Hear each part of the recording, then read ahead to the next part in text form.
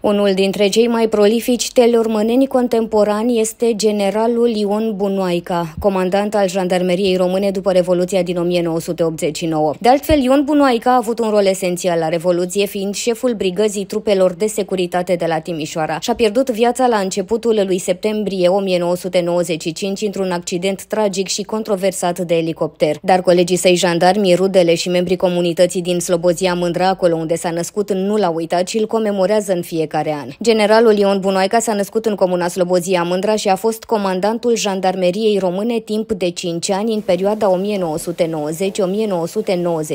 În timpul Revoluției din decembrie 1989, Ion Bunoica a fost șeful brigăzii trupelor de securitate de la Timișoara. Dincolo de cariera politică, generalul Ion Bunoica a rămas în conștiința comunității locale din Slobozia Mândra ca un om deosebit, gata oricând să-și ajute semenii fost rudă, a fost rudă, a fost prin mama lui și cu socrul meu au fost frați.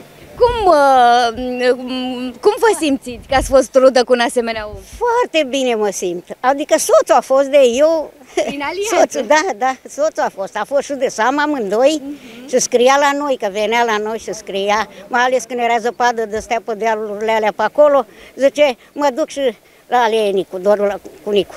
Ce fel de om era? Da, foarte bun, foarte bun în special după când am venit eu.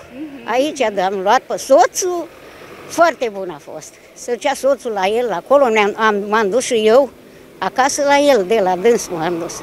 Avea o soție foarte însăcade, primitoare și copiii au fost. Și a fost un om aici, a, a făcut tot ce a fost în comun. A închis cimitirele pe amândouă, cât a fost și el în putere. Da. Acum dacă s-a întâmplat așa, și cum, apropo de, de întâmplatul ăsta, um, cum au uh, reacționat uh, și dumneavoastră și familia lui și oamenii de aici din localitate când au aflat că și s-a și întâmplat așa tragic și brusc cum s-a întâmplat? Jandarmerie atunci, ziua aia chiar la ora șapte, socrul meu a intrat înăuntru în casă la dar, televizor. Nicule, Nicule, ce? Bă, ce? A murit uh, generalul. Uai, bă, da, ce uite ce la Cumulești, acolo, acolo.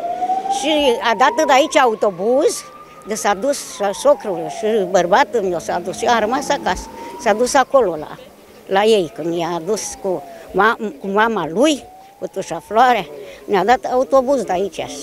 Două autobuze a fost, a fost lume multă, spunea. Dar eu nu m-am dus, că trebuia să rămân acasă. Era copiii mici și cu treburile casei. Și așa că a fost un om, poate ajungea și el și mai mare, că era prea deștept. Da, a asta fost. a fost destinul. Asta e fiecare, acolo ne ducem toți. Nu rămâne nimic pe aici. Ce fel de om era general? Un deștept la carte, deștept, foarte deștept. S-a făcut numai bine în comuna asta. Uh-huh. Tot tineretul l-a făcut jandarmerie, a fost un om excepțional. A fost excepțional. Ce părere aveați la vremea aia că era, nu, cel mai mare om din jandarmeria română, practic? Da, da, da, da, ne părea bine. Și acum, uite, ne pare rău că s-a întâmplat așa. Dar cum a fost în ziua în care ați aflat ce s-a întâmplat și că nu mai este? Cum a fost? Ce a simțit? Foarte, foarte. Ne-a părut rău, ne-a părut rău. Eu chiar eram la spital și m-a anunțat cineva că și băiatul meu a fost la jandarmerie. Mm-hmm dar ne-a părut foarte rău, la toată comuna.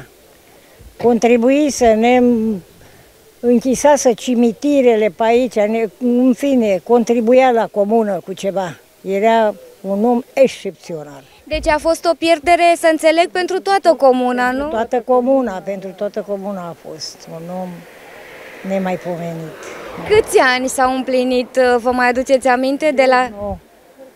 O viață de om, nu? Da, da, da, da. 29 de ani. A fost coleg de clasă cu soțul meu, cel mai deștept pe școală era, uh-huh. bunoica. N-a fost de familie ca să fie de familie așa cum era pe timpuri, dar însă carte, carte învăța, o mânca pe carte.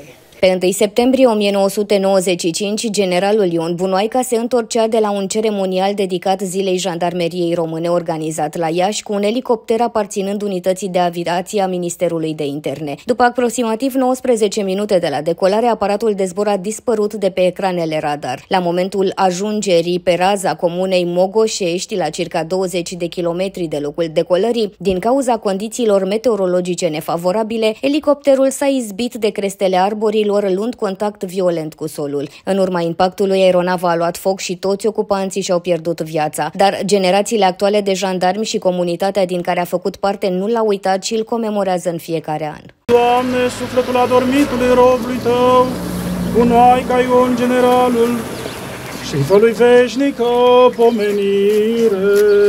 Veșnică pomenire, veșnică pomenire, veșnică pomenire.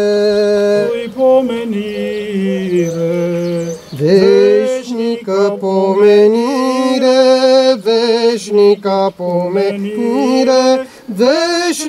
Premergător zilei Jandarmeriei Române am desfășurat un ceremonial militar și religios la monumentul închinat generalului de divizie postmortem Ion Bunoica, fostul comandant, întâiul comandant al Jandarmeriei post-decembriste. Un om cu care ne mândrim, un om ale cărui valențe au rămas, uh, spirit, au rămas în, în amintirea noastră, un om pe care îl uh, sărbătorim și îl cinstim cu, cu mare credință.